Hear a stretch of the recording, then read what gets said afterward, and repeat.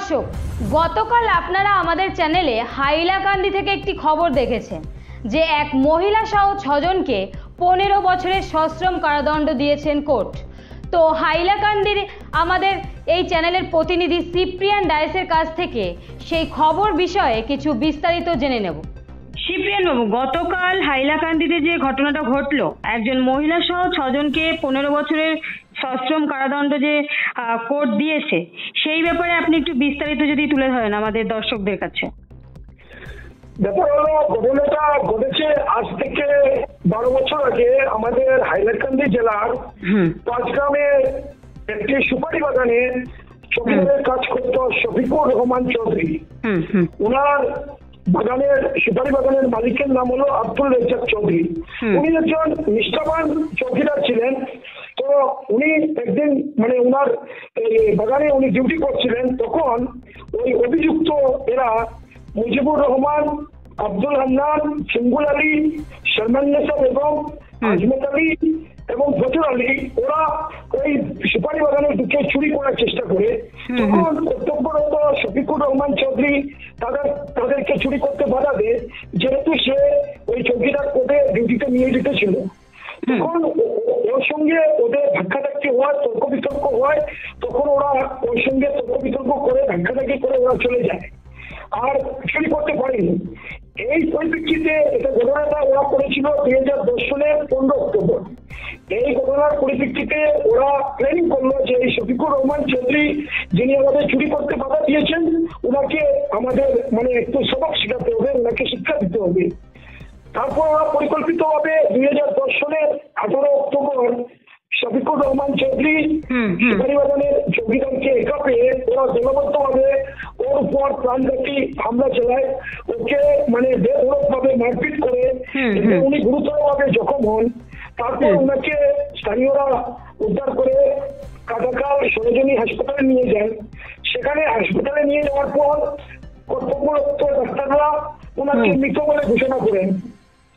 এরপর এই ঘটনা বিস্তারিত জানিয়ে বাগানের মালিক আব্দুল হুম পাঁচগ্রাম থানাতে একটি মামলা একটি খুনের মামলা দায়ের করেন।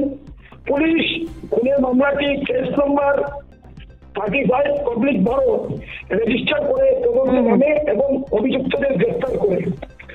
গ্রেফতার করার পর দীর্ঘ বারো বছর এবং বিবাদী পক্ষের মধ্যে কেস চলার পর গতকালকে মানে ছয় মে হাইলাকান্দির জেলা সেশন জজের আদালত অতিরিক্ত জেলা সেশন জজ N H Borboiya division bench এই ছয়জনকে দোষী সাব্যস্ত করে এবং ওদেরকে পনেরো বছর করে সবাইকে সশ্রম কারাদণ্ডের নির্দেশ দেন। এই নির্দেশ দেওয়ার পর ওদেরকে জেল হাজতে পাঠিয়ে দেওয়া হয়েছে। গতকালকে শুনানিতে বাদী পক্ষের অ্যাডভোকেট ছিলেন শান্তনু শর্মা শর্মা এবং বিবাদী পক্ষের উকিল ছিলেন অনির উদ্দিন লস্কর। কত হলো গিয়া এটা হাইলাকান্দিতে একটি সাংবাদিক সম্মেলন হয়। সেই সাংবাদিক সম্মেলনে সম্পূর্ণ তথ্যটি তুলে ধরেন।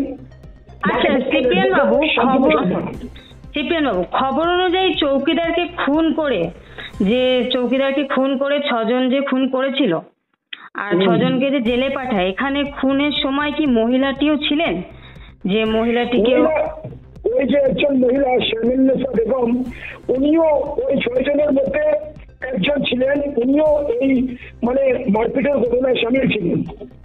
সেই জন্য আচ্ছা। ওনাকেও দোষী সাব্যস্ত করা হয়। আচ্ছা। তো একজন মহিলা সহ মোট ছয়জনকে বাকি পাঁচজন হলো মানে পুরুষ লোক। তো টোটাল ছয়জনকে দোষী সাব্যস্ত করে হাইলাকান্দি সেশন জেলা জজের আদালত অতিরিক্ত সেশন জজ এম এস বরগুইয়া ওদেরকে দোষী সাব্যস্ত করে পনেরো বছরের কঠোর কারাবাসের নির্দেশ দেন। এর পরিপ্রেক্ষিতে কালকেই পুলিশ তাদেরকে জেল হাজতে পাঠিয়ে দিয়েছে।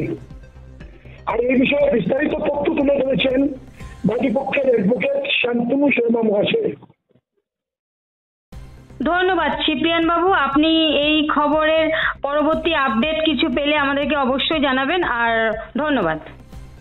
নিশ্চয়ই আমি আপনাকে জানাব।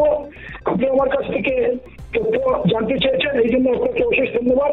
আমি সবসময় আপনাদের চ্যানেলের প্রতিনিধি হিসাবে আমি আছি আপনাদের পাশে এবং সবসময় থাকব। ধন্যবাদ আপনাকে।